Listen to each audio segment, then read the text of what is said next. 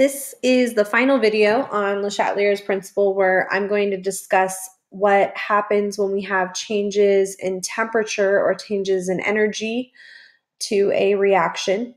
So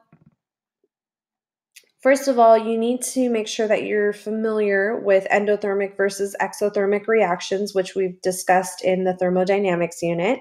So, this reaction right here, um, you can see that heat is written on the product side. So, that would mean that it is an exothermic reaction. Heat is produced in this reaction, or heat is released in this reaction. And you should hopefully also remember that that would mean that the delta H value, the change in enthalpy, would be negative for this reaction. So that's why we um, discussed that extensively in the last unit because for different purposes, we're going to need to write the reaction in different ways. So in this slide, um, it says that an increase in temperature is going to uh, produce less products um, if in terms of an exothermic reaction, which that would describe this one. Uh, if it was an endothermic reaction, we would produce more products. And if we decrease the temperature, we're going to produce more products for an exothermic reaction. And if it was endothermic, it'd be less products. Um, I think this is a really uh, difficult way to memorize this information.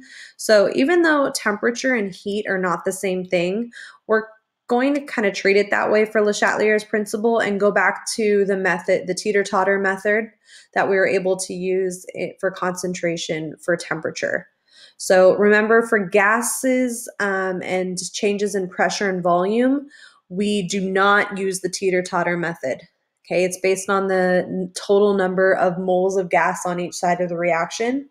Whereas for temperature and concentration, we can use the teeter totter method. Now, in this class, we do not do any kind of calculations with the equilibrium, but I do want you to see what it looks, what the equilibrium expression looks like in case you do go on and take more chemistry classes. So you see KEQ here, and that's the equilibrium expression. Now the equilibrium expression is dependent on temperature. So typically we would look at a table that gives us um, the equilibrium constant and it's based on, you know, maybe 25 degrees Celsius, something basic around room temperature. Uh, but changes in temperature will change what this number is. Okay, again, we're not doing calculations with it. I just want you to see what it looks like. Uh, this is the equilibrium expression for this reaction. So these brackets here, you should remember from solution chemistry that those represent concentration. So the concentration of hydrogen, the concentration of iodine, and hydrogen iodide. Now, since there was a 2 right here, coefficient of 2, that becomes the superscript here, so it's HI squared. These are both 1. So just want you to see what that looks like in case it comes up again in your life if you do take any further chemistry classes. Uh, however, uh, what I really want you to see right now is another method of doing this. So instead of memorizing your way through this, and I'm actually going to show a video that has a slightly different take on how to determine uh, equilibrium shifts for temperature. But uh, the way I'm going to do it is with the teeter totter. So, given this reaction right here, um, if we increase the temperature, I'm going to treat that um, heat right here as one of the products. So you can think about increasing temperature as adding heat. So I'd be adding to the products, which means we would shift to the left. Okay, and that makes sense because here it says if we increase the temperature for an exothermic reaction, we make less products. Well, if we are shifting the reaction to the left, we're making more reactants, right? We're shifting towards the reactants.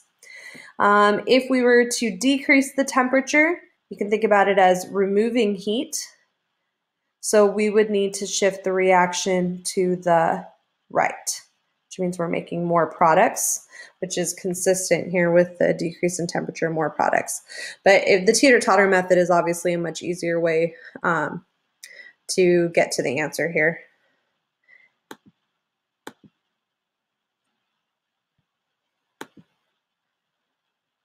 All right, some more examples. How does an increase in temperature affect the concentration of the underlying substance? And let's just forget about K and Q for right now, um, for the following reactions. So remember I taught you guys how to determine which direction equilibrium is going to shift. And depending on which direction equilibrium is shifting, that's going to change the concentration of the reactants in the products. So if you do not remember how to do that, please refer to my second video that I created. So this question is asking us, how does an increase in temperature, so we're gonna add heat. Um, first, we need to figure out which direction equilibrium is going to shift. And based on that, we could figure out what's gonna happen to the concentration of this guy right here. So um, it gives us delta H is negative 82 kilojoules. Okay, so first of all, um, delta H isn't written as part of the reaction, so you need to write that as part of the reaction. So we know that an exothermic reaction, negative delta H, uh, means that heat is released from the reaction, so we can write it as a product. So if we are increasing temperature, think about it as adding heat. So the product side is getting heavier, so to speak, if you're thinking about the seesaw. Um, so if you add more heat, it's going to shift to the left. Okay, if it's shifting to the left, it's going this way. We're making more reactants, which means that everything on the, this side would be increasing, everything on this side would be decreasing. So again, we're shifting to the left. That means we're using this stuff up over here. Okay, so an increase in temperature will shift the reaction to the left and decrease the concentration. Again, that's what these brackets are. Brackets mean concentration of calcium hydroxide. And we're, we're just not going to concern ourselves with this for right now because we do not cover equilibrium expression in this class. Okay, so now we're looking at reaction B. Um, and you are given the delta H value. We want to know which direction equilibrium is going to shift and based on that shift, what's going to happen to the concentration of sulfur dioxide. All right, so for an endothermic reaction, heat is absorbed. And I know that's endothermic because delta H is positive. So it's absorbed in the reaction or it needs to go into the reaction. Endo sounds like in, exo sounds like exit. So heat would be written on the reactant side. So if we increase the temperature, you can think about um, for your teeter-totter that the left side would be getting heavier. So we would need to shift the reaction to the right. Okay, we're going to make more products to get rid of that extra um, weight on the reactant side. Okay, and if we're shifting to the right, that means everything on this side of the reaction would be increasing and everything on the side of the reaction would be decreasing. Again, the second video that I recorded um, goes a little bit more into detail about how you determine uh, what happens to the concentration when equilibrium shifts, but basically whichever direction it's shifting, everything on that side of the reaction is increasing, everything on the other side is decreasing. Okay, so if we're trying to counteract this change where we have too much going on in the reactants, we're going to make more products. Okay, so that means the concentration of the products increases. And if we're increasing the concentration of products, that means that we would have to be using up the reactants. So it's pretty simple. Uh, this is just a quick little summary, and then I'm going to show you a video that explains uh, the changes to temperature in a different way. So whichever way you, method you feel more comfortable with, um, I'm fine with, as long as you know how to get to the correct answer. Um, okay, so a change in concentration does affect equilibrium, okay, and it would not affect the equilibrium constant. Uh, changes in pressure are going to affect equilibrium only for gas, uh, only if we have gases present. So um, we're only going to be looking at gases in terms of pressure and volume. Okay, that does not change the equilibrium constant, which again, we're not doing anything with it. I just want you to see this because you will see it again if you uh, take more advanced chemistry classes. Okay, volume does affect equilibrium, does not affect the equilibrium constant. Temperature does affect equilibrium, and it does affect the equilibrium constant. So remember that for concentration, so changing the amounts of things, and for temperature, we could use the teeter-totter method. Okay, so you can go ahead and use a ruler, use your hand, use a pen to figure out which side of the reaction is quote unquote getting heavier or lighter um, to determine how it shifts. For pressure and volume, you're just going to count up the number of moles of gas on each side. You cannot use the teeter-totter method for pressure and volume. And we've done a lot of examples, so actually we'll go ahead and do this one as well. Okay, um, what happens to the concentration of hydrogen when pressure is increased?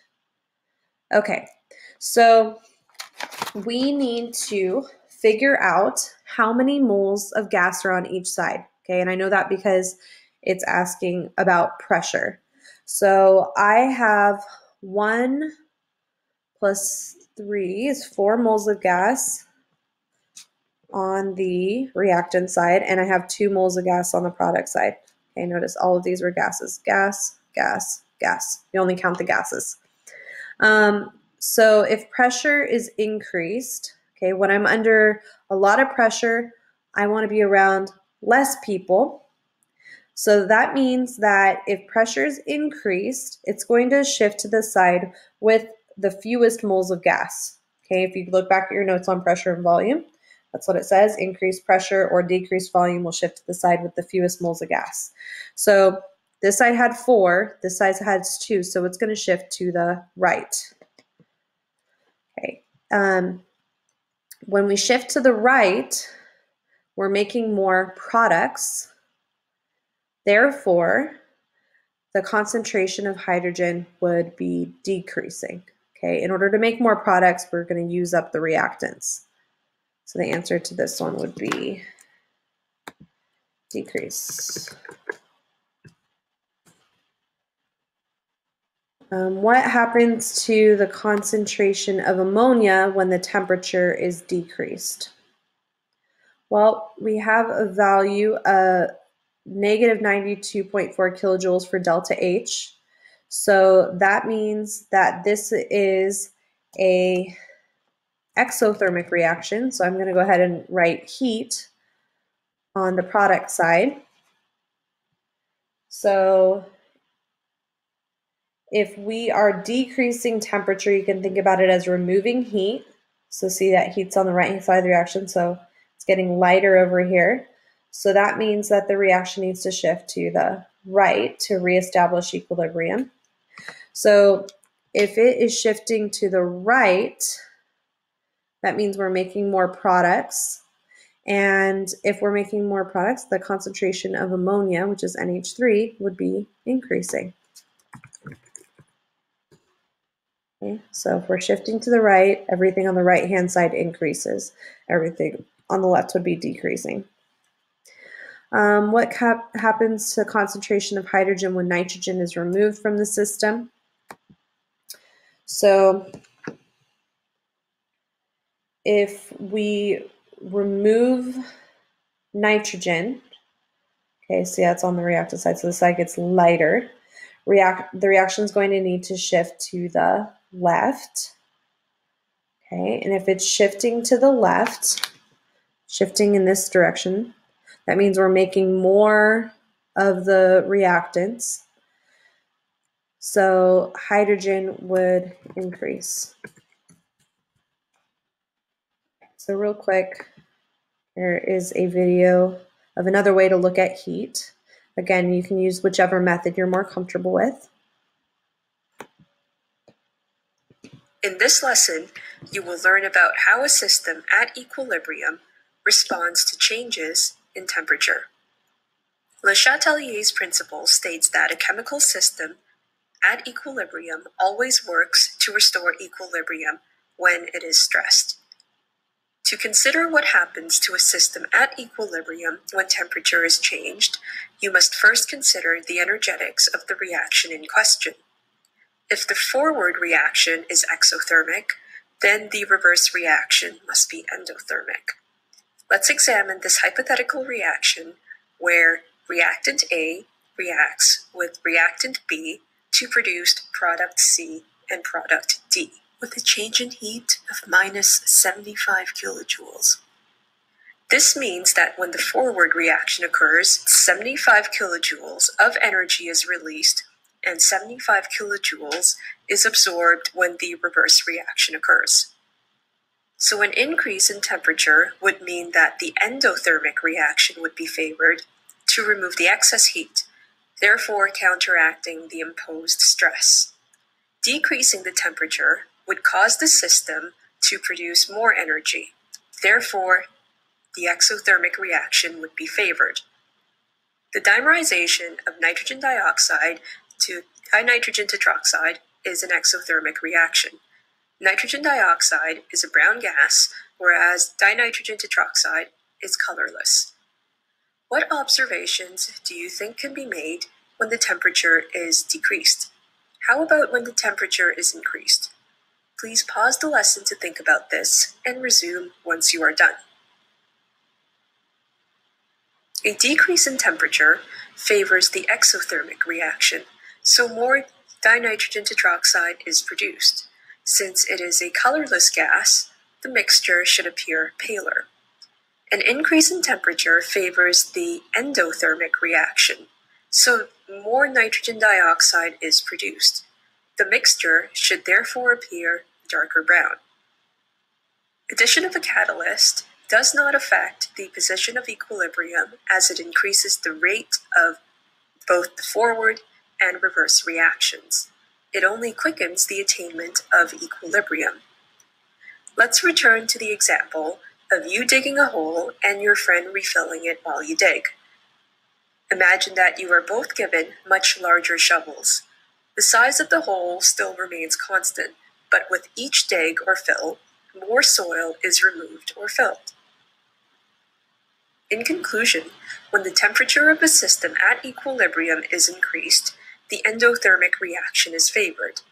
When the temperature of a system at equilibrium is decreased, the exothermic reaction is favored. Adding a catalyst has no effect on the position of equilibrium.